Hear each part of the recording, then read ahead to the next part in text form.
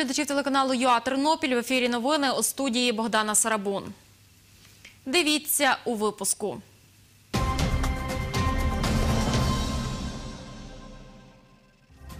На Тернопільщині друга смерть від коронавірусу. Померла 57-річна жінка з Козівського району. У Тернополі встановили два контрольно-пропускні пункти. Там медики міряють водіям і пасажирам температуру, поліцейські запитують про мету поїздки, при потребі оглядають автомобіль і багаж. П'ятеро соціальних працівників Червоного Христа доставляють одиноким тернополянам, пенсіонерам і людям з інвалідністю їжу, ліки та засоби гігієни.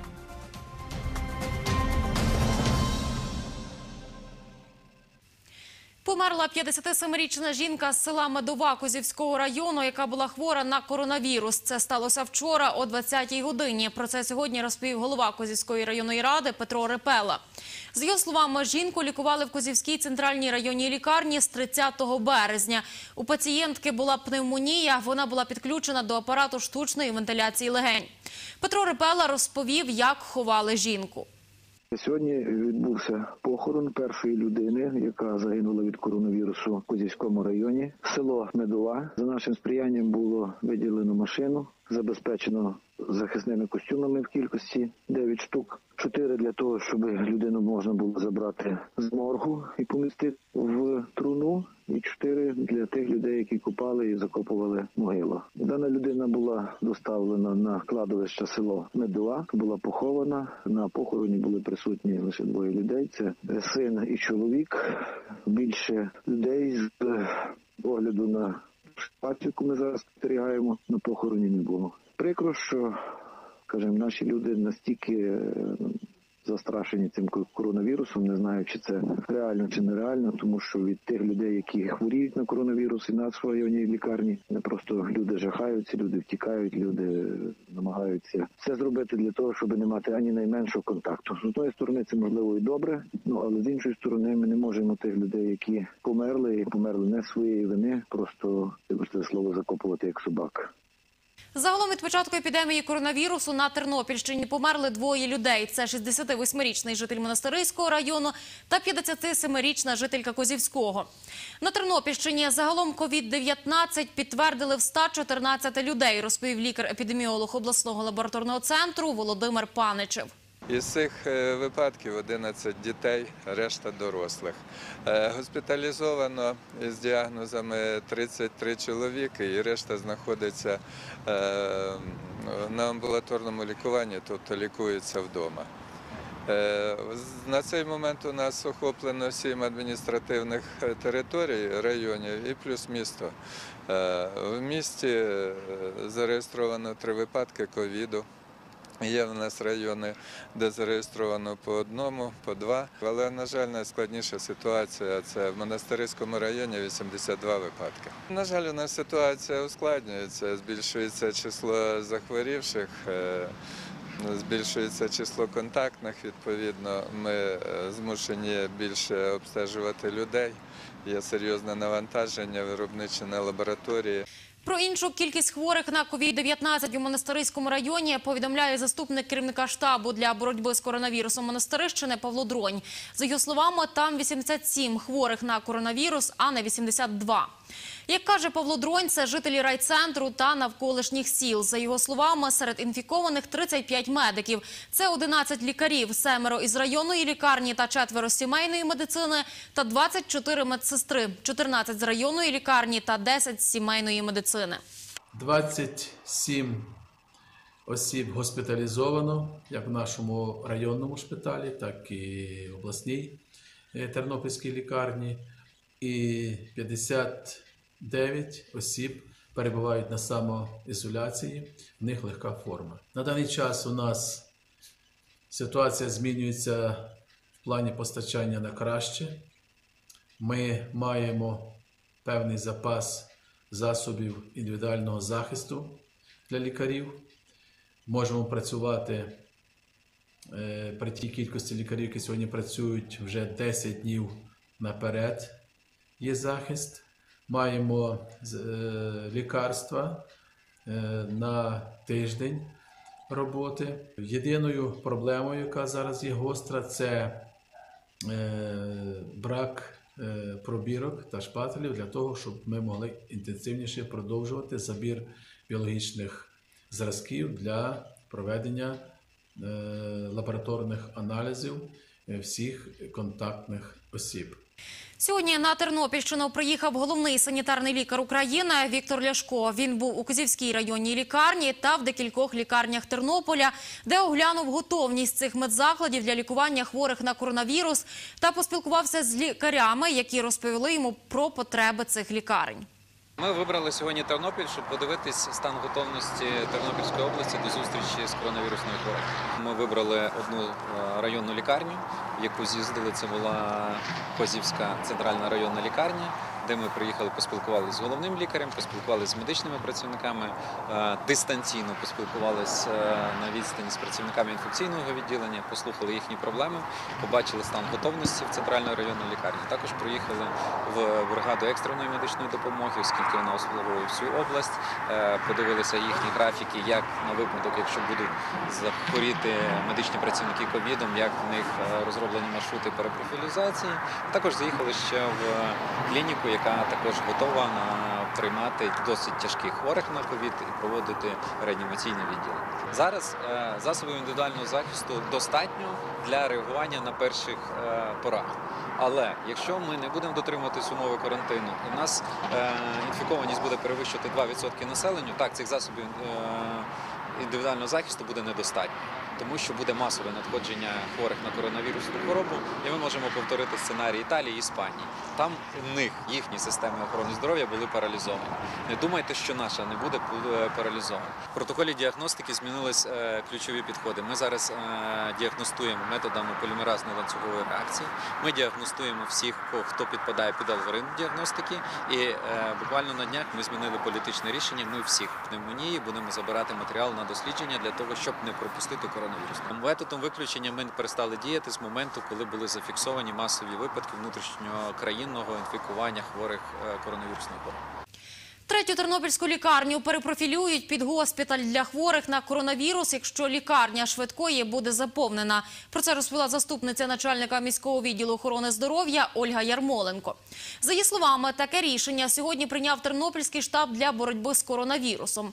У третій лікарні міста є 120 ліжок, каже Ольга Ярмоленко. Наразі лікарня є базою для обсервації людей, які контактували з хворими на COVID-19. Бачачи цю ситуацію, що в нас заповнюються стаціонари, ми прогнозуємо у випадку, як будуть масові поступлення, перерозглянути е, призначення лікарні номер 3 Вона буде як госпіталь, а лікарня, а закладом як стаціонаром є домовленість із е, власниками Галичини, готелю Галичини, що ми там зможемо розміщати е,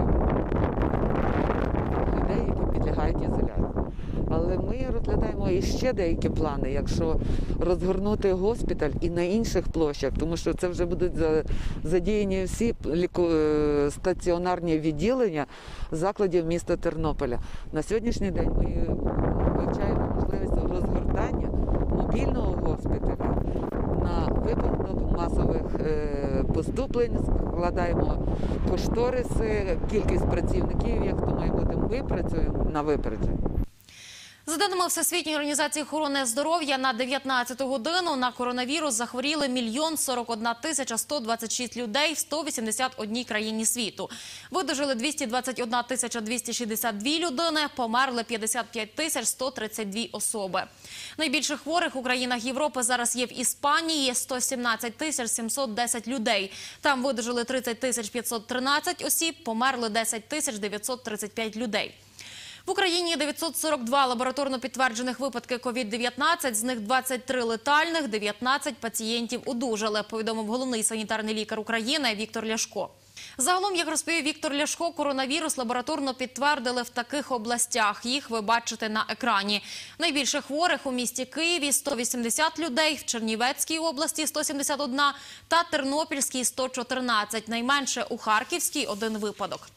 На Тернопільщині, за даними обласного лабораторного центру, коронавірус підтвердили в таких районах: 82 випадки в Монастириському, 15 у Заліщицькому, 8 у Кузівському, 3 в Кременецькому, по одному у Тернопільському, Бужицькому та Бережанському районах та 3 випадки в місті Тернопіль.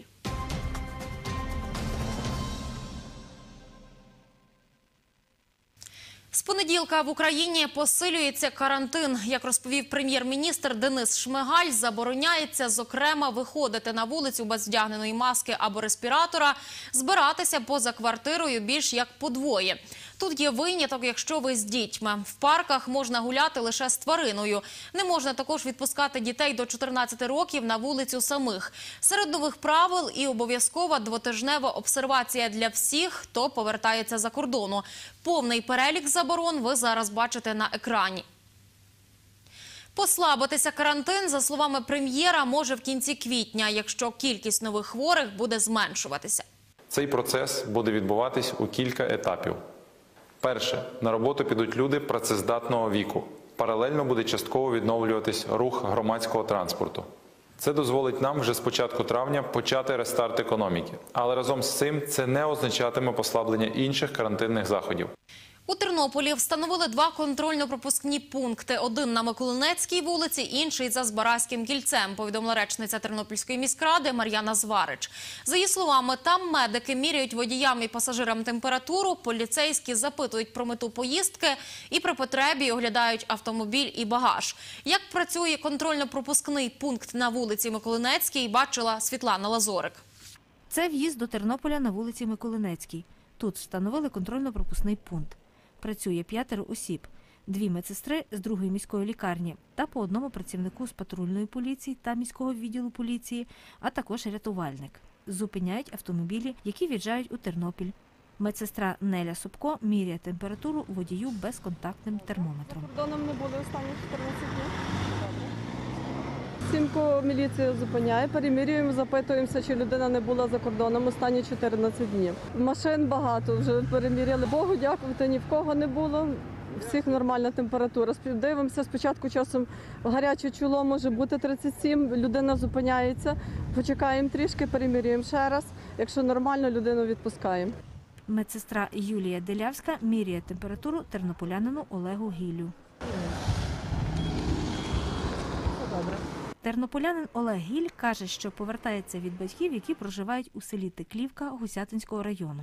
Їду з села в Тернопіль додому. Це дуже добре, коли стоять хлопці дівчата і перевіряють. Контрольно-пропускний пункт на Миколинецькій вулиці працює з 8 години, каже лейтенант поліції Тернопільського відділу поліції Назарій Ядловський. Станом на 13 годину зупинили понад 100 автомобілів. У водіїв та пасажирів підвищеної температури не було, каже Назарій Ядловський. Водії поводяться толерантно, з розумінням ставляться до даної процедури. Все, все досить добре проходить. Зупиняємо всі автомобілі, ну але вибірково дивимося. Найбільше звертаємо це на інші області реєстрацію. Якщо водій з температурою до 38, то тоді виходить, що лікарі надають йому е, довідку до свого лікаря сімейного, і він мусить звернутися. І також там йде про самоізоляцію і з лікарем своїм консультуватися сімейним. А якщо вже більше 38, на місце ми викликаємо швидку допомогу, і тоді вже лікарі будуть займатися з ним перевіряти по даному вірусу, чи часом людина не заражена. Світлана Лозорик, Василь Панчук. Новини на Суспільному. Тернопіль. У Тернополі планують встановити ще вісім таких контрольно-пропускних пунктів, каже речниця Тернопільської міськради Мар'яна Зварич. Коли вони запрацюють, наразі невідомо. П'ятеро соціальних працівників Тернопільського міського товариства Червоного Христа доставляють одиноким пенсіонерам і людям з інвалідністю їжу, ліки та засоби гігієни. У квітні планують обійти 200 осіб з обласного центру, розповіла Суспільному голова міського товариства Червоного Христа Тетяна Лех. За її словами, під час карантину допомагатимуть усім, хто звертатиметься. Як працюють соціальні працівники в умовах карантину, бачила Марія Котенко. Це вулиця Куліша. Соціальна працівниця Надія Живчик несе їжу двом пенсіонеркам. Загалом обслуговує 10 осіб. Що приготували їй сьогодні? Власне, самі готували? Та е, капусняк, плов і несу ще пшеничну кашу. Кожного дня я маю по двоє чоловік. Е, Ходжу, е, допомагаю людям до карантину. Ми допомагали людям все. Е, І прибирати вологе прибирання робити, е, ходили в магазин, е, спілкувалися, ліки приносили. Так як зараз під час карантину нам заборонено заходити в квартиру, і ми тільки доносимо ліки і продукти харчування до дверей. На сьомому поверсі живе Стефанія Канчук. Їй 86 років. Жінка не може ходити. Доброго дня. Як ваші справи? Що вам потрібно допомогти? Приходить кожен раз і приносить. О, дякувати, що це за добра дитина. У мене і бедро поломане, таз поломаний, і в оку маєте, без ока лишилося, бо то дитина моя, я її не рахую, що вона там якийсь волонтер, що вона дитина моя. Через кілька будинків проживає колишня вчителька школи для незрячих дітей, 68-річна Євгенія Чехунова. Доброго здоров'ячка. Я принесла вам те, що ви замовляли. Продукти. Жінка читає шрифтом Брайля про хресну дорогу. Через карантин не ходить до церкви. Це я тримаю е, листочок, написаний шрифтом Брайля, е, аби показати вам, що ми миємо руки часто, бо мусимо читати пальцями. Якщо казати, знаєте, про карантин, то в нас незрячих карантин завжди, бо ми самі не ходимо по вулиці. А тепер карантин, я так кажу, плюс вірус. Нам незрячим дуже важко обійтися без зрячих людей. Як розповіла голова Тернопільського міського товариства Червоного Христа Тетяна Лех, її організація обслуговує 600 осіб.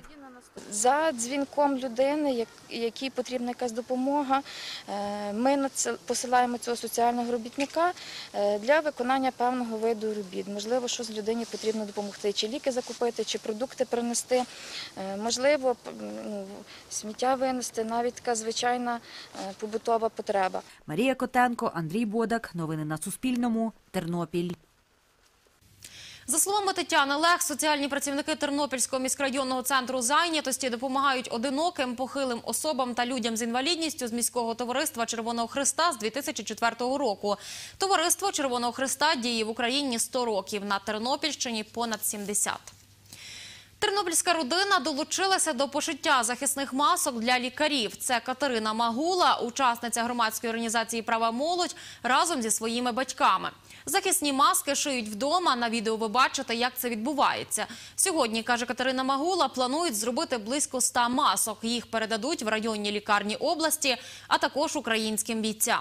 Ми з моїм татом і моєю мамою шиємо захисні маски, щоб допомогти як бійцям на сході, щоб вони могли захистити себе від коронавірусу, також і звичайним потребуючим людям, які живуть у наших містах, щоб вони також могли захистити себе. Наразі ми пошили вже 70 захисних масок. Плануємо пошити стільки ж або й більше, доки вистачить наших сил, матеріалів, і поки буде потрібна наша допомога. Ось як виглядають готові маски. Шити їх члени громадської організації «Права молодь» розпочали в понеділок, 30 березня. Це роблять п'ятеро людей, розповіла прес-секретарка цієї організації Ілона Надала. За її словами, на суму 200 гривень громадська організація закупила нитки, тканину та резинки для пошиття масок. Їм надали безкоштовно волонтери. Загалом тканини вистачить на пошиття близько 700 масок. За цей тиждень пошили та передали лікарям 300 захисних масок. І 500 захисних костюмів для медиків планує закупити громадська організація Правий сектор. Про це повідомив її керівник Назар Сарабун. За його словами, для цього потрібно 150 тисяч гривень. Наразі зібрали близько 70. Шитимуть захисні костюми тернопільські підприємства, каже Назар Сарабун. Ми зараз е, маємо тестові варіанти, так, які ми е, обговорюємо їхню доцільність використання, ну, їхню безпеку в використанні. Так дуже важливо в даному випадку не зашкодити. Наразі тестуємо е, два типи тканин: це медичний спанбон е, суто медичного призначення, так. е, Відповідної щільності, відповідної класифікації, так такі самі, як шиють сертифіковані, але на жаль, приходиться шукати інші виходи, тому що ті заводи, які мають сертифікацію, вони кажу, не справляються. І, і тестуємо зараз Оксфорд. Е, тканину 135-ї щільності. Вона е, має е, проклейку спеціальну поліуретанову, яка не пропускає вологи. І відповідно зараз будемо консультуватися, чи, чи можна таку використовувати в медицині. Чотири ящики з ліками для бійців першої окремої штурмової роти добровольчо-українського корпусу «Правий сектор» передав директор благодійного фонду «Пам'ять і любов» Андрій Савчук. Також тернопільські волонтери Андрій Савчук і Христина Феціца відправили бійцям 25 літрів антисептику, 100 захисних медичних масок, продукти харчування та 200 метрів кабелю для облаштування нових бліндажів. Передаємо лікарства, передаємо медикаменти, передаємо солодощі, продукти харчування, е, кава, пряники. Так само передаємо консервації зараз з Христою, Фіцицею для наших хлопців, для наших захисників, щоб вони могли вистояти ту, той фронт, який вони там вистоюють, щоб ми могли тут вистояти далі карантин на мирній території України. Благодійний фонд «Пам'ять і любов» – неприбуткова організація, яку заснували в липні 2019 року. Волонтери благодійного фонду відновлюють пам'ятки архітектури на Тернопільщині, допомагають бійцям російсько-української війни та дітям-сиротам. Це вся інформація на сьогодні. Я прощаюся з вами. Бажаю вам вдалого завершення вечора і приємних вихідних.